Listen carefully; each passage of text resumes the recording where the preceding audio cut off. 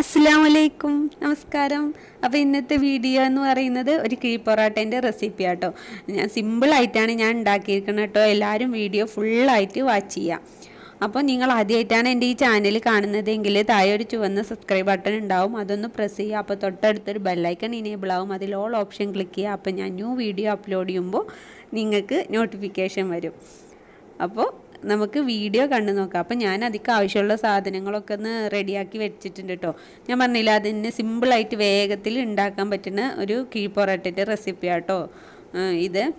അപ്പോൾ നമുക്ക് നോക്കാം. ടേസ്റ്റി ആയിട്ട് കിഴിപ്പൊറോട്ട എങ്ങനെ ഉണ്ടാക്കാമെന്ന് ഓക്കെ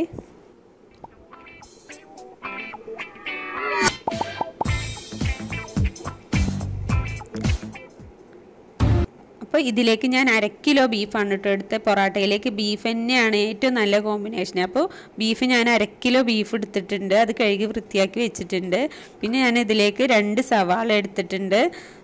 ഒരുപാടൊന്നും അധികം ആവണ്ട അപ്പോൾ ഒന്ന് മധുരം തോന്നും സവാള അധികമാണ്. ഇപ്പോൾ രണ്ട് സവാള എടുത്തിട്ടുണ്ട്. പിന്നെ ബീഫിനനുസരിച്ച് മാറ്റം വരുത്താം. പിന്നെ തക്കാളി. ഒരു മീഡിയം സൈസിലെ രണ്ട് തക്കാളി എടുത്തിട്ടുണ്ട്. പിന്നെ ഞാൻ ഇതിലേക്ക് ചെറിയ ഉള്ളി ഒരു ആറേഴ് അല്ലി ചെറിയ ഉള്ളി ഒരു പത്ത് പതിനഞ്ച് അല്ലി വെളുത്തുള്ളി രണ്ട് കഷ്ണം ഇഞ്ചി ഒരു പച്ചമുളക്. പച്ചമുളക് എരിവിനനുസരിച്ചിട്ട് ചേഞ്ച് ചെയ്യാം കേട്ടോ. പിന്നെ ഞാൻ ഇതിലേക്ക് മല്ലിയില എടുത്തിട്ടുണ്ട്. അപ്പോൾ ഇനി നമുക്ക് ഇഞ്ചിയും വെളുത്തുള്ളിയും പച്ചമുളകൊക്കെ ചതച്ച് വെച്ചിട്ടുണ്ട് ഞാൻ മിക്സിയിൽ ഇനി നമുക്ക് ബീഫ് ഒന്ന് വേവിച്ചെടുക്കണം. അപ്പം നമുക്ക് കുക്കറിൽ വേവിച്ചെടുക്കാം. അതിൽ ആവശ്യത്തിന് ഉപ്പ് മഞ്ഞൾപ്പൊടി പിന്നെ നമ്മൾ ചതച്ച് വെച്ച ഇഞ്ചി വെളുത്തുള്ളി ചെറിയ ഉള്ളി ആ പേസ്റ്റില്ലേ അത് ഒരു ടേബിൾ സ്പൂൺ കൂടി ഇട്ട് കൊടുത്തിട്ട് കുറച്ച് വെള്ളം ഒരു രണ്ടോ മൂന്നോ ടേബിൾ സ്പൂൺ വെള്ളം ഒഴിച്ചിട്ട് നമുക്കിത് ഒന്ന് വേവിച്ചെടുക്കാം. ബീഫിന്റെ വേവ് അനുസരിച്ചിട്ട് മൂന്നോ നാലോ വിസിൽ വരുന്നവരെ വേവിച്ചെടുക്കാം. അപ്പോൾ നമ്മൾ വിസിലൊക്കെ വന്ന് ആവി പോകാൻ വേണ്ടി നമുക്ക് നമുക്കിതങ്ങ് മാറ്റി വെക്കാം. പിന്നെ നമുക്ക് നമുക്ക് ബീഫിലേക്ക് ആവശ്യമുള്ള മസാല റെഡിയാക്കി എടുക്കാം. അപ്പോൾ ഞാനൊരു പാൻ വെച്ച് അതിലേക്ക് ആവശ്യത്തിന് ഓയിൽ ഒഴിച്ചു കൊടുത്ത് ആവശ്യത്തിന് ഉപ്പൊക്കെ ഇട്ട് കൊടുത്തിട്ട് സവാള ഇട്ടിട്ട് അതിലേക്ക് കുറച്ച് കറിവേപ്പിലയൊക്കെ ഇട്ടിട്ട് നല്ല സോഫ്റ്റ് ആവുന്നവരെ വഴറ്റി കൊടുക്കാം. അപ്പോൾ ഒന്ന് വഴന്ന് വരുമ്പോൾ നമ്മുടെ ഇഞ്ചി വെളുത്തുള്ളി ചെറിയ ഉള്ളി പച്ചമുളക് ആ പേസ്റ്റ് ഞാൻ ആദ്യം ഒരു ടേബിൾ സ്പൂൺ ഇട്ട് കൊടുത്തിട്ടുണ്ടായിരുന്നു. ഇപ്പോൾ രണ്ട് ടേബിൾ സ്പൂൺ കൂടി ഇതിൽ ആഡ് ചെയ്തിട്ടുണ്ട്. അപ്പോൾ മൊത്തം മൂന്ന് ടേബിൾ സ്പൂൺ. അപ്പോൾ അതിന്റെ പച്ചമണമൊക്കെ ഒന്ന് മാറി വരുമ്പോൾ ഞാൻ ഇതിലേക്ക് ടൊമാറ്റോ ആഡ് ചെയ്യാണ്.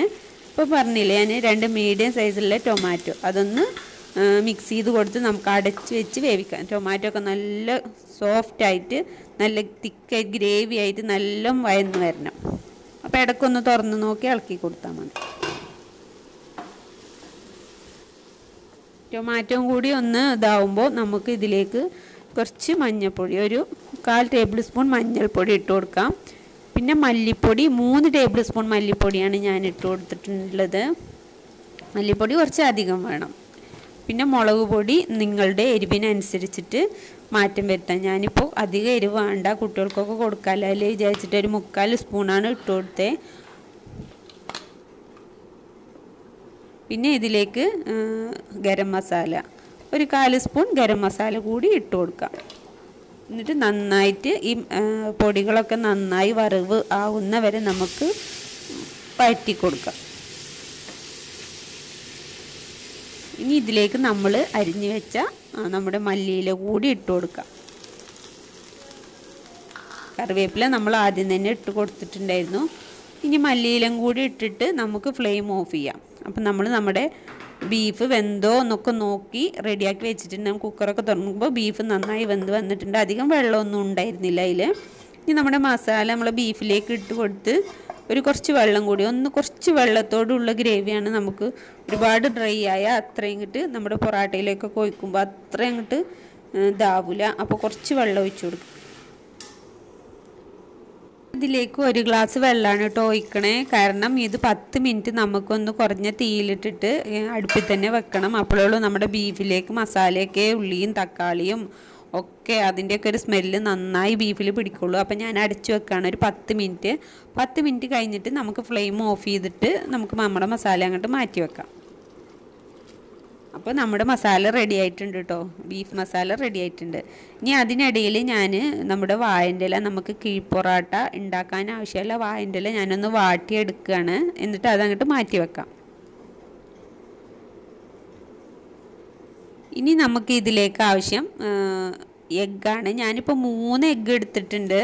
നിങ്ങൾ എത്ര എണ്ണം ഉണ്ടാക്കണേ അതിനനുസരിച്ചിട്ട് ഇതിൽ വ്യത്യാസം വരുത്താം കേട്ടോ അപ്പോൾ ഞാൻ മൂന്ന് എഗ്ഗ് എടുത്തിട്ട് അതിൽ ആവശ്യത്തിന് ഉപ്പിട്ട് കൊടുത്തിട്ടുണ്ട്. ഇനി നിങ്ങൾക്ക് വേണമെങ്കിൽ കുരുമുളക് പൊടിയും കൂടി ഇതിൽ ആഡ് ചെയ്യാം കേട്ടോ അപ്പോൾ ഞാൻ ഇട്ടിട്ട് വളരെ തിന്നായിട്ട് ആണ് ഉണ്ടാക്കണത് നമ്മുടെ പൊറാട്ടയുടെ ആ റൗണ്ടിനനുസരിച്ചിട്ട് ഉണ്ടാക്കാൻ ശ്രദ്ധിക്കുക. അപ്പോൾ ഞാൻ അതിനനുസരിച്ച് ഒരു പാനിൽ വെച്ചിട്ട് നമ്മുടെ പൊറാട്ടയുടെ റൗണ്ടിനനുസരിച്ചുള്ള ഒരു ഓംലെറ്റാണ് ഞാൻ ഉണ്ടാക്കിയിരിക്കണേ. എന്നിട്ട് അതിന് മേലിൽ നമ്മുടെ പൊറാട്ട വെച്ച് കൊടുത്തിട്ട് ഒന്ന് തിരിച്ചു മറിച്ചിട്ടിട്ട് പാനിലിട്ടിട്ട് ഒന്ന് തിരിച്ചു മറിച്ചിട്ടിട്ട് നമുക്കിത് വായന്റെ ഇലയിലേക്ക് ഇട്ട് കൊടുക്കാം.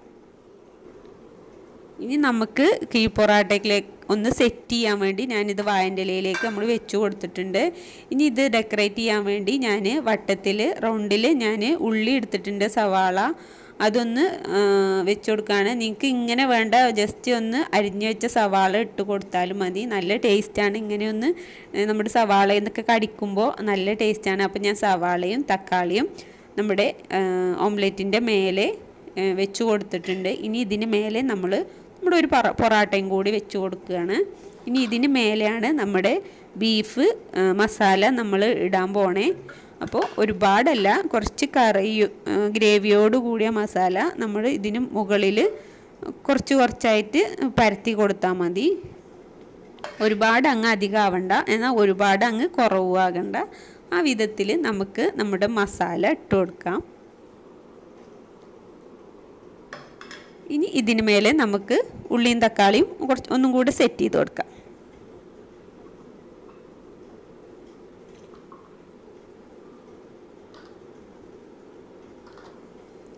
ഇനി നമുക്കിത് അങ്ങോട്ട് പൊതിഞ്ഞെടുക്കാം കേട്ടോ.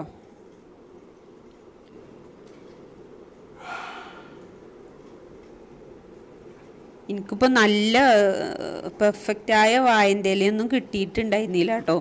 കാറ്റൊക്കെ ആയതുകൊണ്ടൊക്കെ കീറിയിട്ടുണ്ടായിരുന്നു. നമ്മളെ വീട്ടിലുള്ള വായന്റെ ഇലയൊക്കെ കാറ്റായതുകൊണ്ട് എന്തോ ഒക്കെ അത്ര നല്ല വായന്റെ ഇല കിട്ടാ കിട്ടിയെന്നുണ്ടായിരുന്നില്ല നിങ്ങൾക്കുമ്പോൾ നല്ല നല്ല ലീഫ് എടുത്താൽ നന്നായിരിക്കും.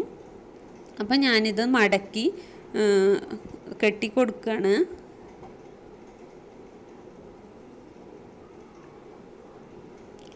ഇനി നമുക്കിതൊരു കിഴിയാക്കി വേറൊരു വേറൊരു വയലെടുത്തിട്ട് കിഴിയാക്കി നമുക്ക് അത് കൂടി കെട്ടിക്കൊടുക്കാം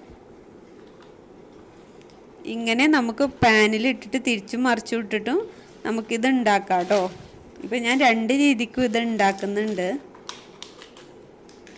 അപ്പോൾ ഞാനിതൊരു കിഴി പോലെ കെട്ടിയിട്ട് നമുക്കിനി കെട്ടിയിടാം. അപ്പം നമ്മുടെ ഒരു കിഴി റെഡി ആയിട്ടുണ്ട് കേട്ടോ ഇനി നമുക്ക് അടുത്തതും എല്ലാതും ഇങ്ങനെ ഒന്ന് ചെയ്തെടുക്കാം.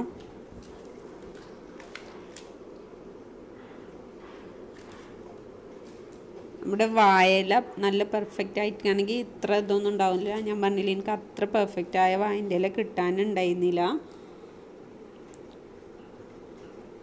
അപ്പോൾ ഞാൻ അങ്ങനെ അത് അങ്ങോട്ട് കെട്ടി വെച്ചിട്ടുണ്ട്. അപ്പോൾ അടുത്തതും കൂടി ചെയ്തെടുക്കാം. അപ്പോൾ ഞാൻ രണ്ട് രണ്ടെണ്ണം റെഡിയാക്കി വെച്ചിട്ടുണ്ട് കേട്ടോ ഇനി ഇത് ഞാൻ ഒരു മൺചട്ടി വെച്ചിട്ട് മൺകുടുക്ക വെച്ചിട്ട് അതിൽ കുറച്ച് ഓയിൽ ഒഴിച്ചു കൊടുത്തിട്ടുണ്ട്. അതിൽ ഇറക്കി കൊടുത്ത് ഞാനിത് അടച്ച് വെക്കുകയാണ് നിങ്ങൾക്ക് വേണമെങ്കിൽ ഇങ്ങനെ ചെയ്യണമെന്നൊന്നുമില്ല കേട്ടോ. പാനിൽ അങ്ങോട്ട് ഒന്ന് തിരിച്ച് മറിച്ചു വിട്ടിട്ട് ഒന്ന് ഫ്രൈ ചെയ്ത് എടുത്താൽ മതി. ഇപ്പം ഞാൻ അങ്ങനെയും ചെയ്യുന്നുണ്ടെന്ന് പറഞ്ഞില്ലേ? ഇത് ഞാനൊന്ന് ഞാൻ പാനിൽ വെച്ചിട്ട് തിരിച്ച് മറിച്ച് വിട്ടിട്ട് എടുക്കുകയാണ് പിന്നെ ഒന്ന് ഞാനൊരു മൺ കുടുക്കിയിൽ ചട്ടിയിലല്ല മൺ കുറച്ച് വലിയ ഒരു കുടുക്കിയിൽ വെച്ചിട്ട് ഞാനൊന്ന് ആവി കയറ്റി എടുക്കുകയാണ് കേട്ടോ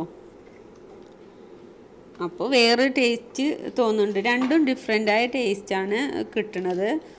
സ്മെല്ലിൽ രണ്ടും ഡിഫറെന്റാണ് അപ്പോൾ നമ്മുടെ ഇന്നത്തെ റെസിപ്പി റെഡി ആയിട്ടുണ്ട്. കിഴിപ്പൊറാട്ട ഓംലേറ്റ് വിത്ത് കിഴിപ്പൊറാട്ട കേട്ടോ ബീഫ് കിഴിപ്പൊറാട്ട അപ്പോൾ റെഡി ആയിട്ടുണ്ട്. അപ്പോൾ നമുക്കിത് തുറന്ന് നോക്കാം. നല്ല ടേസ്റ്റി ആയിട്ടുള്ള ഒരു റെസിപ്പിയാണ് എല്ലാവരും ട്രൈ ചെയ്ത് നോക്കുക. അപ്പോൾ എല്ലാവരും ഇത് ഉണ്ടാക്കി നോക്കുക. സിമ്പിളായിട്ട് ഉണ്ടാക്കാൻ പറ്റും. എല്ലാവർക്കും ഇഷ്ടാവും ചെയ്യും. അപ്പോൾ നമുക്ക് തുറന്ന് നോക്കാം. അൻഷോപ്പും തുറന്ന് നോക്കി കഴിക്കാൻ പോവുകയാണ്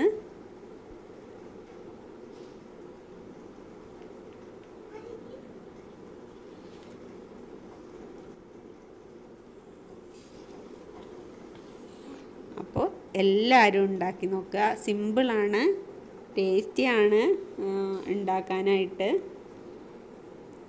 അപ്പോൾ എല്ലാവരും ട്രൈ ചെയ്ത് നോക്കുക.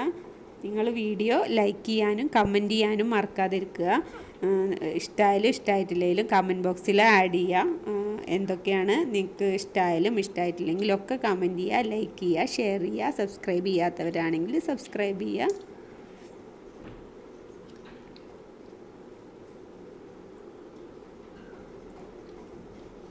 Thank you for watching my video. Assalamualaikum.